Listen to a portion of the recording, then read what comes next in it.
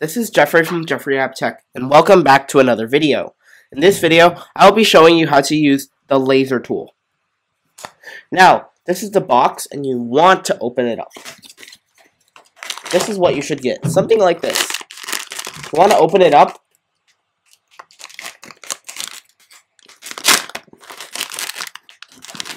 and take the laser out. This is what it look like. Looks like, sorry. And you want to put it in the hole.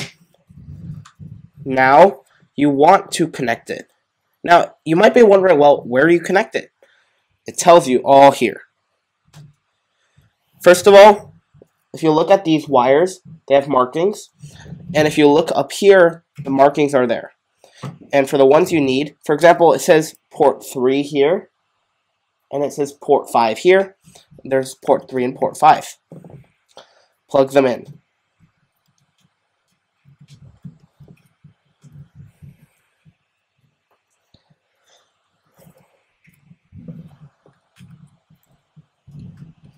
That's the wiring.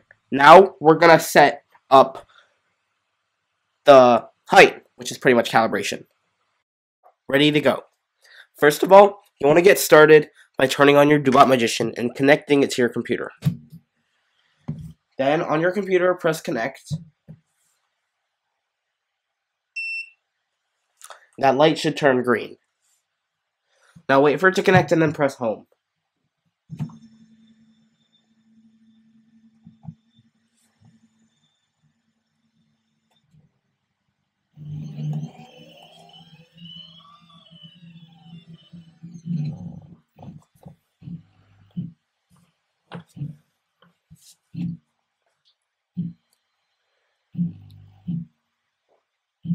May take a little bit of time, but it's just readjusting.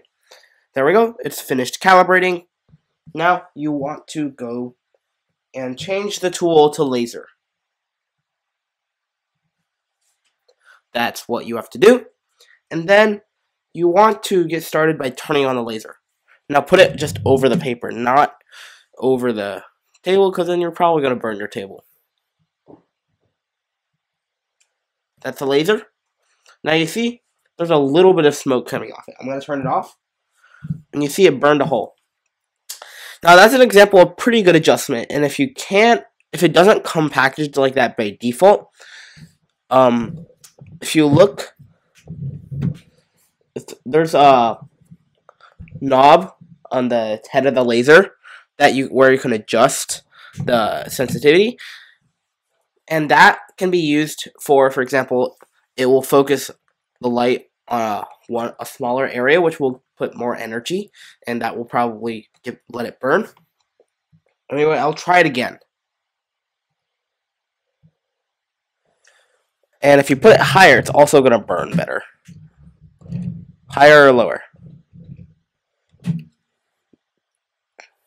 Higher.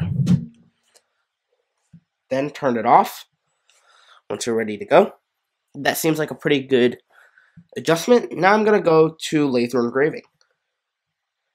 Here, press Auto Z.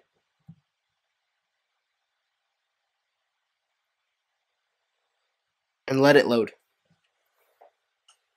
There we go. Now we want to import a model. Now I have a variety of models for you, and I will put them in the description below. Look there. I will show you some. Press open. I'm going to go to my path.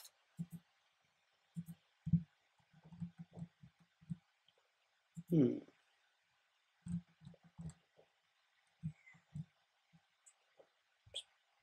Can't find it. But anyway, you can do any normal photo. photo. I'm going to, for example, if you find one here, I'm going to do my logo. Press open, and then it will open, and it's right here. I'm going to drag it to the center. Make it a little bit bigger.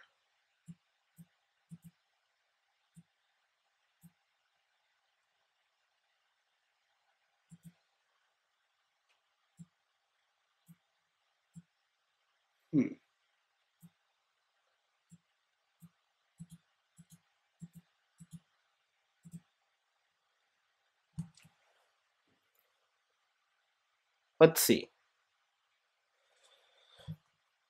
We want to adjust the height. Width and height. Let's try 50 and 50. Let's see how big that is. That seems good.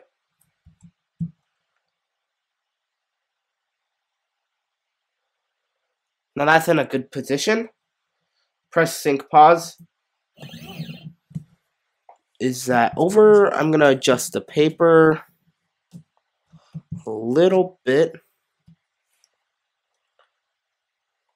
And if you want to, you might as well just tape down your paper, and when you're ready, press start.